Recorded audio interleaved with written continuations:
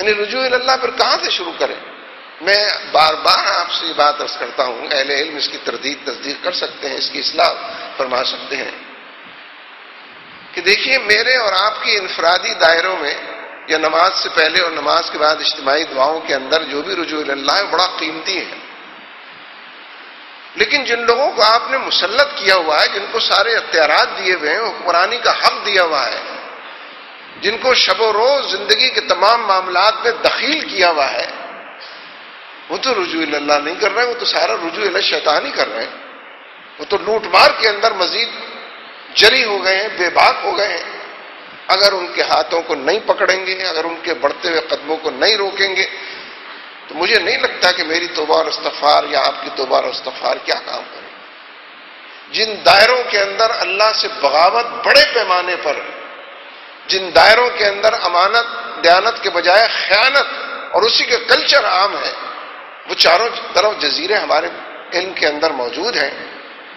उनको अगर हम उनसे छेड़छाड़ नहीं करेंगे, बात नहीं करेंगे, अपने ही दायरे के अंदर तो मैं नहीं समझता, मेरा मबलग इल्म ये बात मुझे नहीं समझाता कि इसी से, इसी के नतीजे में कोई नैया पार हो जाए। उसको लोग सियासत समझ लेते हैं, उसको कोई ऐसा काम समझते हैं कि जो इस वक्त करने का नहीं है। इसी वक्त ये काम करने का और मीडिया से भी मैं ये बात कहना चाहता हूँ, कुछ लोगों का, कुछ तंजीमों का, कुछ जमातों का, उन्होंने भी बाइकाट किया हुआ और उनके बारे में डिस इन्फॉर्मेशन और गलत इतलात फैलाने में तो वो पेश पेश हैं। लेकिन जो काम मैदान अमल के अंदर मौजूद है दहशत गर्दों के ग्रुप है, ये इंतहा पसंदों के ग्रुप है, ये अपने आप को मकबूल करना चाहते हैं। तो मकबूल करने के दरवाजे तो खुले हुए हैं। जो गैर मकबूल है, वो क्यों नहीं अपने आप को मकबूल कर लेते?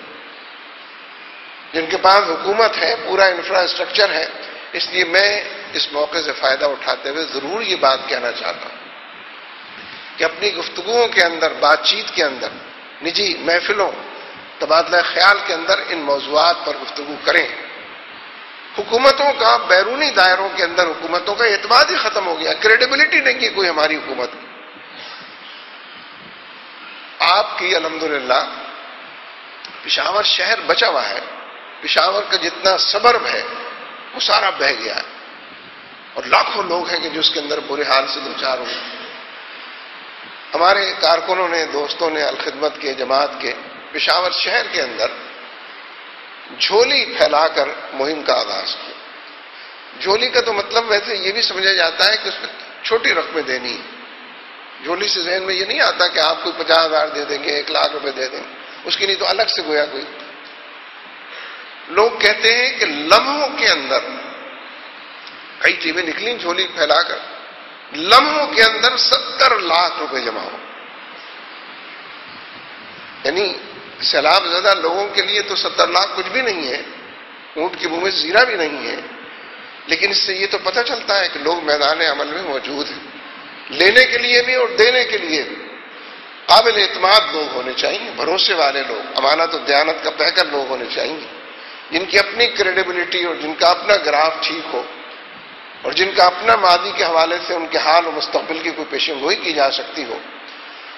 तो इसलिए माशरे के अंदर चल फिर कर लोगों से रबते की भी ज़रूरत है, जो विपता पड़ी है, दुआएँ तो जारी रहनी है, अपने रब से रुजू भी जारी रहना है। जिन जिन छोटे छोटे दायरों में हम रहते और बसते हैं, उन तमाम दायरों में ये काम होना है। दूसरों को तरगीब भी दिलानी है, इन राहों पर आगे बढ़ाना भी है। लेकिन बागियों की गिरफ्त के लिए, जो अल्लाह के भी बागी हैं और जिन्होंने उनको वोट दिए हैं, उन वोटर्स के भी बागी हैं, अवाम के भी बागी हैं।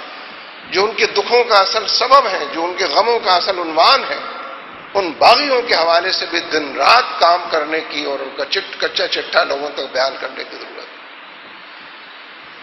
मेरे दोस्तों, मैंने जो बात शुरू की थी उसी पर बात को खत्म करता हूँ कि रमज़ान मुबारक के लम्हे लम्हे को कीमती जाने। हर लम्हा और हर घड़ी, यानी वैसे तो मामूल की भी ये बात आती है ना हादीस में, कि रोज मैशर इंसानों को ज़िंदगी के उन लम्हात पर बड़ा तासुफ और मलाल होगा। किन लोगों को? नेकोकार लोगों को, जन्नतियों को जो लोग जन्नत में भी पहुँच जाएँगे, उनको इस बात का बड़ा मलाल होगा कि ज़िंदगी में अनगिनत लम्हात थे जो ज़िक्र से खाली रह गए। तोफील भी थी, इल्म भी था, करते तो थे हम, लेकिन हम तो इससे बहुत ज़्यादा कर सकते थे। हमें तो इसकी इस्तात हासिल थी, मालूम भी था हमको।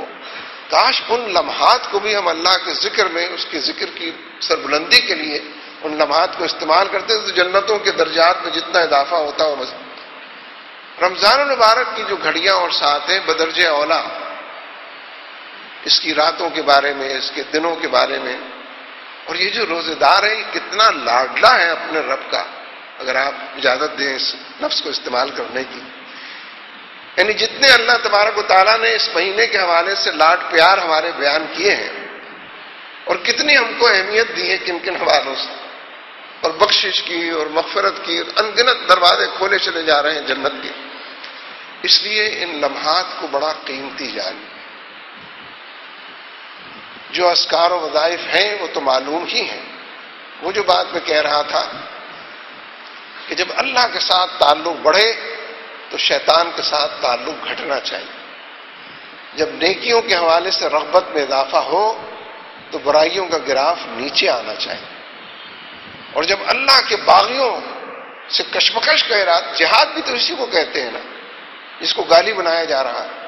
जिहाद भी इसी को कहते हैं कि अल्लाह के साथ ताल्लुक में बेहतरी और बढ़ोतरी और अल्लाह के बागियों के खिलाफ शमशीर बरहना इल्म की दुनिया में, अमल की दुनिया में, कहने, सुनने के हवाले से वो तमाम मालूम हासिल करना, बहम पहुंचाना, लोगों तक लेकर आना कि अल्लाह के बागियों का कच्चा चिट्ठा और उनकी चार्जशीट और उनके चेहरों को बेनकाब करना, ये बहुत बड़ी जंग है, बड़ा महाद है, बहुत दूर तक फैले हुए मोर्चे हैं। और इसी का नाम जिहाद है। तो ये मैंने अर्ज़ किया था कि ये टेस्ट या ये इम्तहान, ये भी हमारे अपने अंदर वदियत किया गया और मौजूद है कि हम देखें कि नेकियाँ जब बढ़ रही हैं तो बुराइयाँ कम हो रही हैं या नहीं हो रही। और जो हाल अहवाल पूरे मुल्क का और उम्मत मुस्लिमा का है, नजरअंदाज नहीं किया जा सकता। कैसे किया जा सकता है? ये ईमान की शमा एक दिल और दिमाग में रोशन होती है, ये तो रोशन करती चली जाती। चराग से चराग और दिए से दिए। पूरी उम्मत को जिन उजालों की ज़रूरत है, जिस जद्दोजहद और कशमकश की इबारत ज़िंदगी की ज़रूरत है।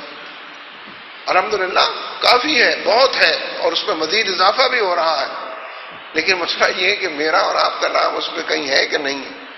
सारी दुनिया जिहाद कर रही हो, अल्लाह के बागियों से लड़ रही हो, इस रास्ते में आगे निकल गई हो, लेकिन तलाश करने से मेरा और आपका नाम उसमें न मिलता हो तो ये तो बड़ी महरूमी है ना।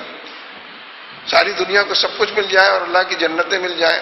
इसलिए अपना नाम उसमें लिखवाएँ, अपना नाम उसमें तलाश करें, जली हरूफ से उस पर लिखवाएँ, कशमकश का उन्वान अपने आप को बनाएँ और रमज़ान मुबारक को जिहाद और जज्ब जिहाद के लिए, कशमकश और जद्दोजहद का पैकर बनने के लिए और बुराइयों और बदी और शैतान के महवर से नजात पाने के लिए और माशरे को इन बुराइयों और बदी के महवरों से नजात दिलाने के लिए इस्तेमाल करें।